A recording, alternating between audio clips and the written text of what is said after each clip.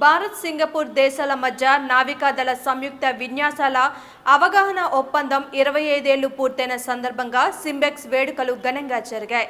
ఈ సందర్భంగా ఇరు దేశాల రక్షణ శాఖ మంత్రులు విశాఖలో సమావేశమయ్యారు. సింగపూర్ భారతదేశాల రక్షణ శాఖకు సంబంధించి ఒప్పందం మూడేళ్ళు గడిచిన సందర్భంగా విశాఖలో ఇరు దేశాల రక్షణ శాఖ మంత్రులు సమావేశమయ్యారు.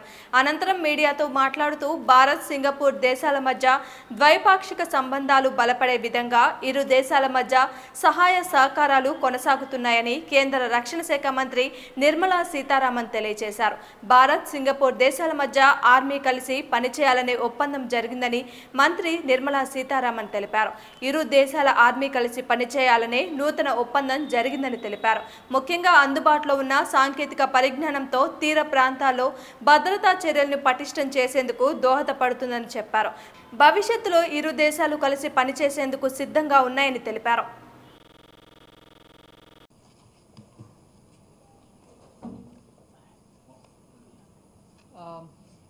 Relation between India and Singapore has grown significantly in recent years and emerged as a key pillar of our partnership.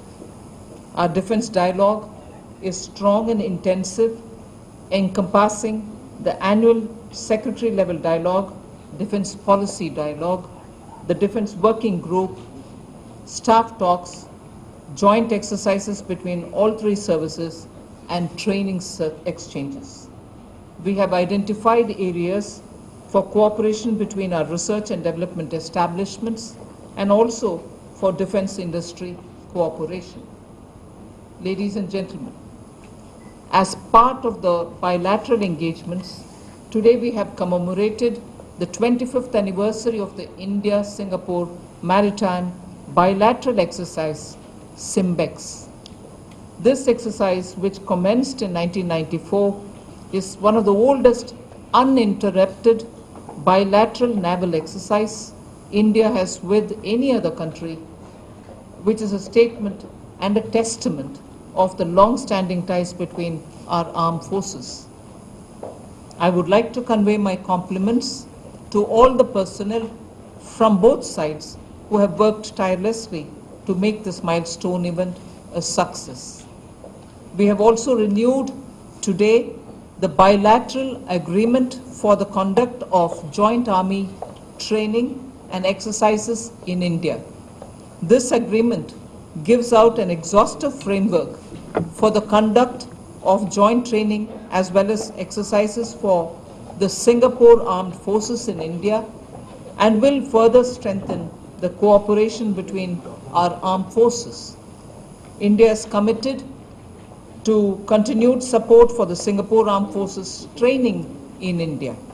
We also discussed use of India's firing ranges by the Singapore Armed Forces for their specialist weapons firing.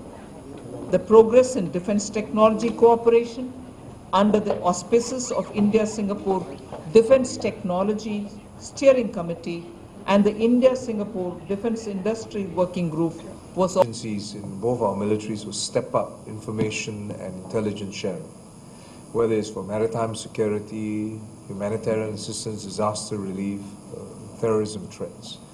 Uh, we are geographically uh, separated but connected by transboundary issues and connected geographically by very critical sea lines of communication in uh, the waters that we talked about.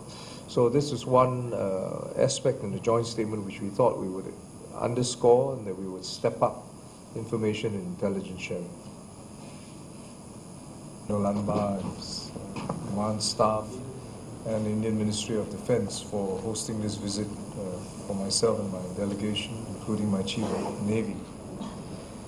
Uh, we had very productive visits to the Andamans, Nicobar, and Port Blair in particular. Uh, as uh, Minister has said, we conducted the 25th uh, bilateral exercise between our Navy and the Indian Navy, uh, and uh, longest uninterrupted exercise for, for India.